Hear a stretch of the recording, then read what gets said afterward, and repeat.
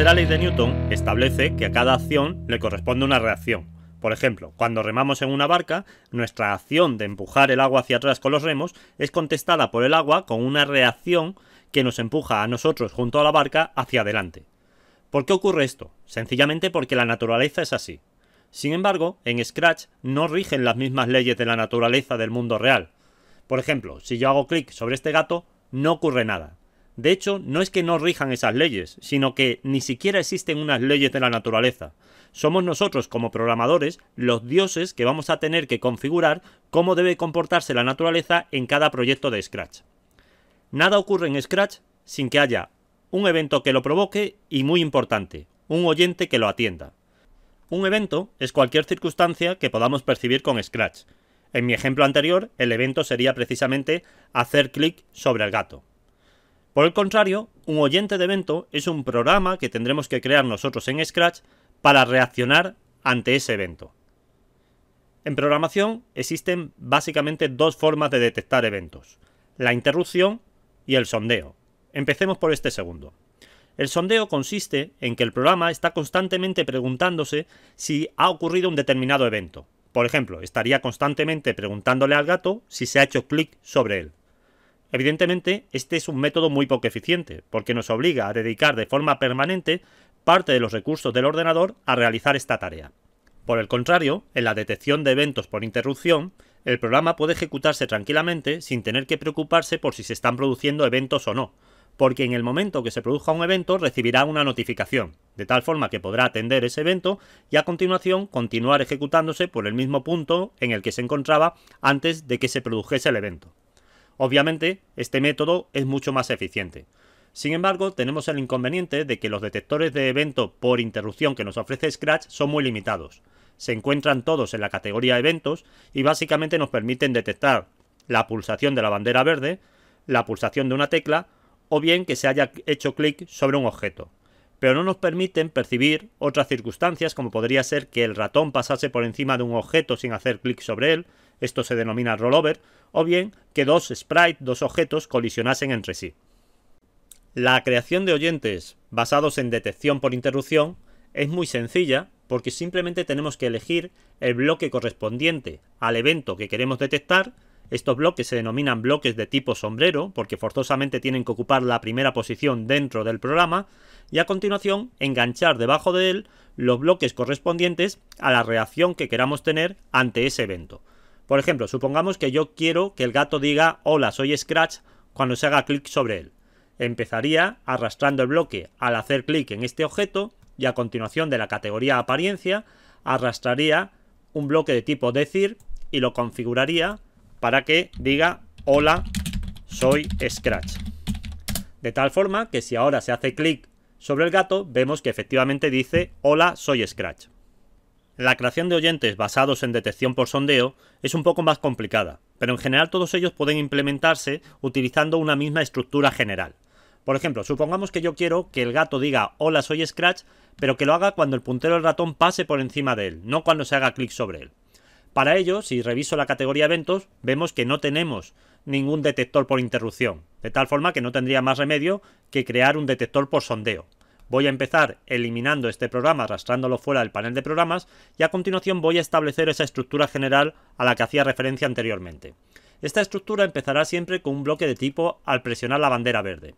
Dentro de este bloque iré a la categoría control y colocaré un bucle perpetuo de tipo por siempre. Y dentro de este bucle crearé una estructura de control de tipo sí entonces, si no. Vamos a ver lo que ocurre con esta estructura. Al pulsar la bandera verde entra en un bucle perpetuo, es decir, va a estar constantemente preguntándose si se cumple o no la condición que nosotros establezcamos aquí dentro.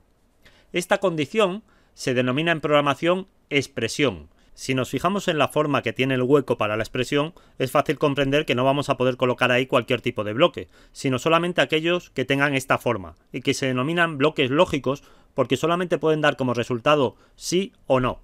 Por ejemplo, si voy a la categoría operadores, vamos a poder ver varios de estos bloques lógicos que sirven para ver si algo es menor, o igual o mayor que otra cosa.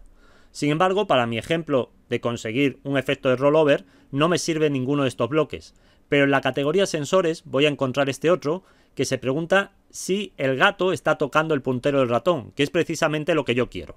Lo que voy a hacer es arrastrar este bloque colocándolo en el hueco destinado a la expresión y a continuación de la categoría apariencia voy a coger el bloque de tipo decir y lo voy a configurar para que diga hola soy Scratch y a continuación otro bloque de tipo decir en el que voy a borrar el argumento para que no diga nada, es decir, para que borre lo que haya podido decir anteriormente. De tal forma que si yo ahora pulso la bandera verde, vemos que al colocar el puntero del ratón sobre el gato dice hola soy Scratch y cuando el puntero del ratón sale deja de decirlo. Ahora mismo en el panel de programas se está produciendo un hecho que es fácil que pase desapercibido. Me refiero a este halo de color amarillo que hay alrededor del programa. Este halo me indica que este programa está en ejecución en este instante.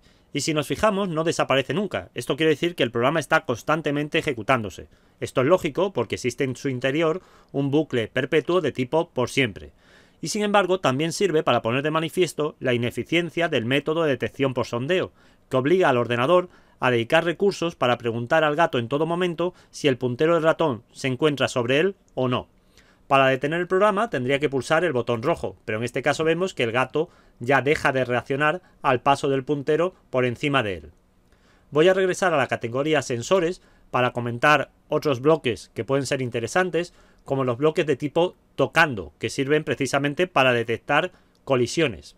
Y aquí abajo tenemos otros dos bloques que son tecla presionada y ratón presionado, que podrían inducirnos a pensar que un mismo evento, la pulsación de una tecla o bien la pulsación del ratón, puede detectarse bien a través de oyentes de sondeo o bien a través de oyentes de interrupción. Sin embargo, no es así. Voy a empezar explicando el caso de ratón presionado. Cuando nosotros hacemos clic con el ratón, en realidad se producen tres eventos. El botón bajando, el botón abajo y el botón subiendo. El sensor ratón presionado se pregunta exclusivamente si el botón del ratón está abajo, sin imponer ninguna otra restricción sobre dónde se encuentre, por ejemplo, el puntero del ratón. Es decir, si yo coloco el puntero aquí fuera del gato y pulso el botón del ratón, en ese instante el sensor ratón presionado devolverá sí. Por el contrario, en la categoría eventos, el bloque al hacer clic en este objeto impone dos condiciones. La primera es que el botón del ratón esté bajando, no que esté abajo como hacia el sensor, sino que esté bajando. Y la segunda es que el puntero del ratón se encuentre en ese mismo instante sobre el gato. Es decir, que este detector de eventos solo se dispararía si yo pulso el, el botón del ratón encontrándose el puntero sobre él.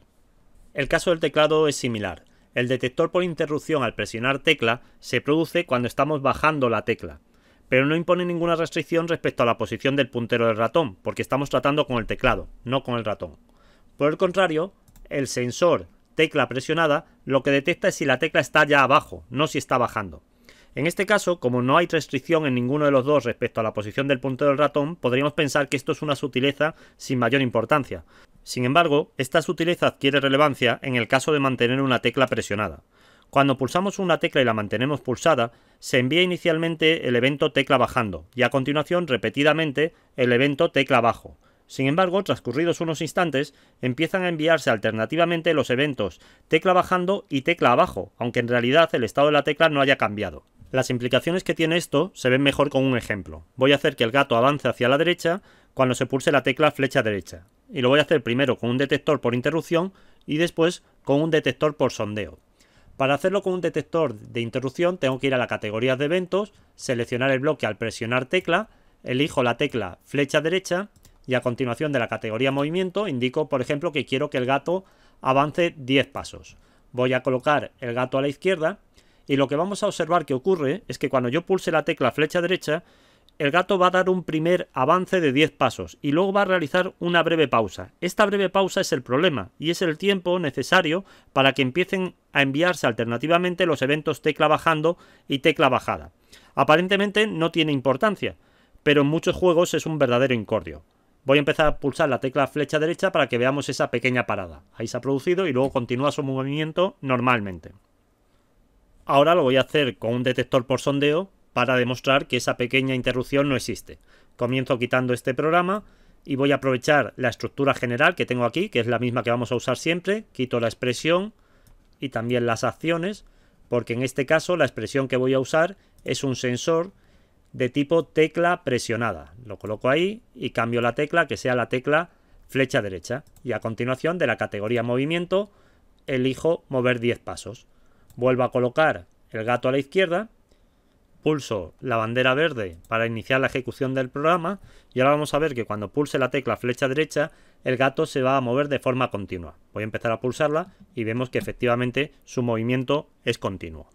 El reto que quiero plantear en esta sesión es partir del proyecto 127.584.356 que contiene como fondo una pista de automovilismo y como único actor un coche y lo que quiero es que mientras mantengamos pulsada la tecla flecha arriba el coche avance, mientras mantengamos pulsada la tecla flecha izquierda el coche se gire en sentido antihorario, mientras mantengamos pulsada la tecla flecha derecha el coche gire en sentido horario y que si en algún momento el coche se sale de la pista, es decir, si toca la zona verde, y esto es una pista, valga la redundancia, el coche vuelva a su posición inicial. Para que resulte más sencillo, he preparado aquí un esqueleto del programa que habrá que completar. El resultado tiene que ser similar al que muestro aquí, en el que vemos que podemos dirigir el coche y si en algún momento nos salimos, el automóvil vuelve a su posición inicial.